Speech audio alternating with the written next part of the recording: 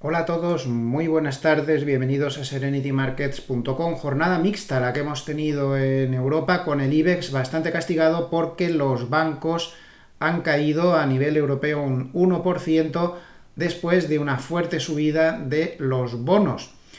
Eh, a Europa le ha favorecido el dato de IPC, igual que a los bonos, aunque no a los bancos, precisamente pero le ha perjudicado pues las malas noticias que venían desde China esta madrugada, con China cayendo muy fuertemente por la posible situación de colapso del segundo promotor inmobiliario más grande de China, Evergrande, y por las constantes injerencias del gobierno en el mercado con regulaciones por todos los sitios.